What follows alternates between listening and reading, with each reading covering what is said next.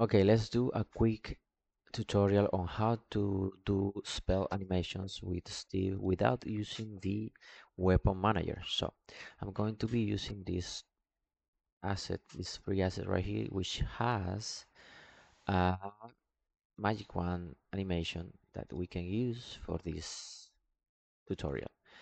Now in the animations, you see right here, what I did was to convert the rig to humanoid and on the animations I baked the root rotation, the Y position and set it to original so I can have something like this. And I also mirror the animation so it throws with this arm right here. Now we're going to use the magic wand right here and I'm going to create for Steve a new mode. And let's call it I'm going to duplicate it. I'm going to call it magic spells. And I'm going to give it a new ID 12 is, a, is free so we can use that one. And right here on the animator on the tools Malbers animations animator tools I'm going to select Steve. Go to mode select magic spells and I'm going to select the magic wand. And let's call this one fire spell. Going to add all the transitions and I'm going to add the mode and ability to Steve player. Right here you will find it. That we have the fire spell right here. And we have the mode. Now let's create an empty substate machine to keep things organized call it magic spells. Going to drop it right here. And now we're going to loop the animation. Let's see the loop how it goes. Now I'm going to set the loop so it goes to something like this.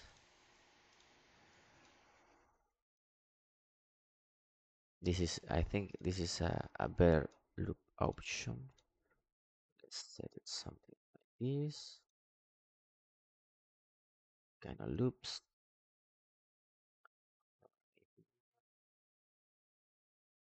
The arm goes down. Now let's set it something like this. Further a little further I think right here it works like a loop animation. So I like round numbers so I'm going to set something like this. And now we have the file enter and exit. All the mode behavior is added. And for Steve I'm going to disable the weapon manager on the player input link.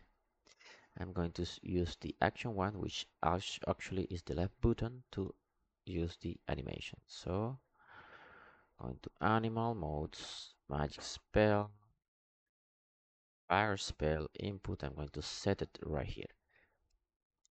If I play it shoots. Now but I want to press the input and keep charging. So when I release the input the fire spell is released. So right here on status I'm going to set charge or hold input.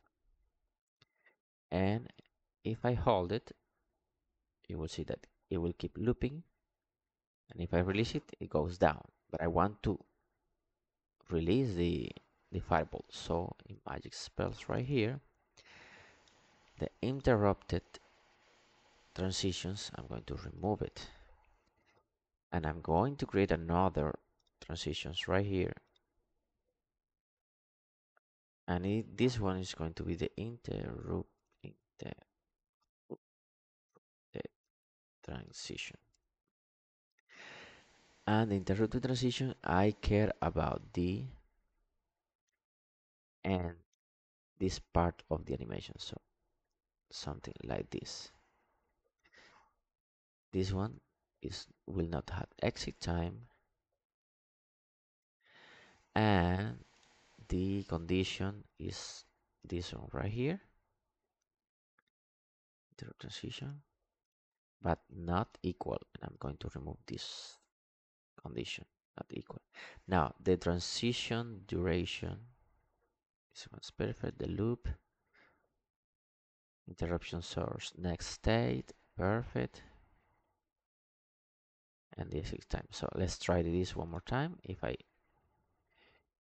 if I hit play and I release, you'll see that the transition is doing one all over again, all over again. So this does not work. What we need to do is to duplicate the animation, remove the mode behavior, and uh, and and make the transition or interrupted right here. So copy, paste, and I'm going to copy the transitions parameters and paste it right here. Paste both conditions and settings right here. And then we're going to go to the exit, which is point 8 and point 2. I'm going to remove this one. I'm going to remove this one. Sorry, interrupt transitions, fire spell. I think only the loop. Sorry, interrupt transition should be this one right here. Sorry, this one is the the one that created here. We're going to remove it, and this one is the interrupt Perfect. Now let's try this one more time. I'm firing and I'm releasing. Perfect. Firing and releasing. Holding, sorry, so holding and releasing. And if you want to remove the look at while while firing the spell, the only thing we need to do is go to magic one era corpse and add look at at zero. Hit enter apply and the look at won't be bothering you. Now let's release the fire other spell so I'm going to create an empty game object call it thrower. And I'm going to add a projectile thrower. And the projectile is going to be a fireball that I have right here. The aim origin is going to be the hand. Let's add the hand. Sorry not the target the what is the hand? The thrower you'll see that we're throwing from this. I'm going to add actually the finger. Right perfect. And what else do we need? Let's see. We actually need to fire the projectile. So we're going to go to events for not the mode. We're going to go to the events of the ability. On fire spell enter, no, on fire spell exit, we're going to throw the projectile. Right here, projectile thrower, fire. Let's try this one more time. Perfect. We are throwing the projectile, but we're throwing always at front. So in the thrower, we need an aimer. So we're going to use the aimer direction. Let's hit play. Perfect.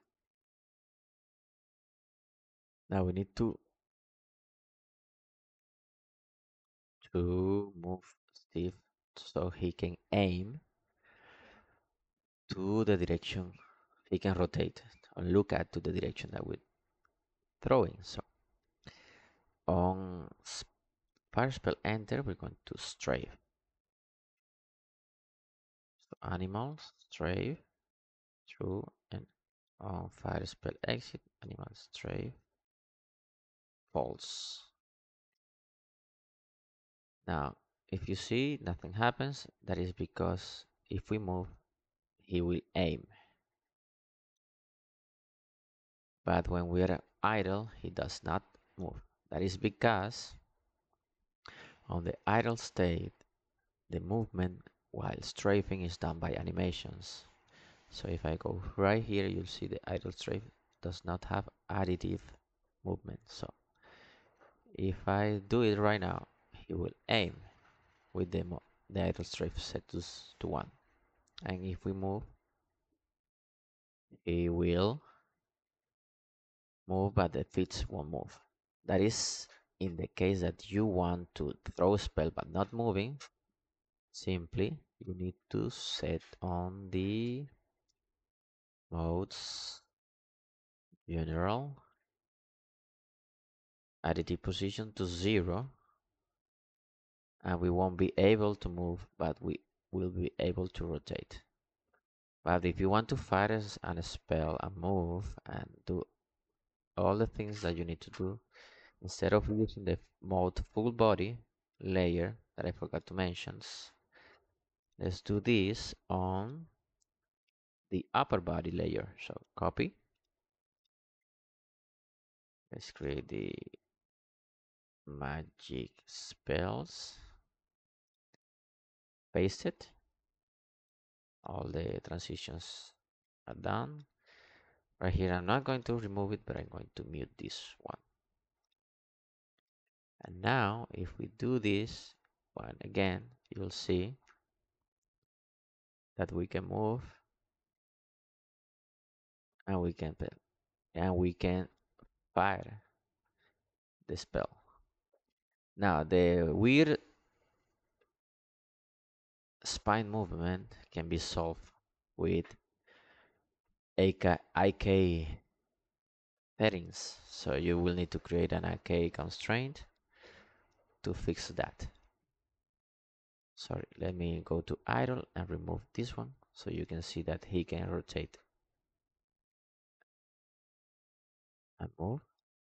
But that's how you can create a, a firing spell without using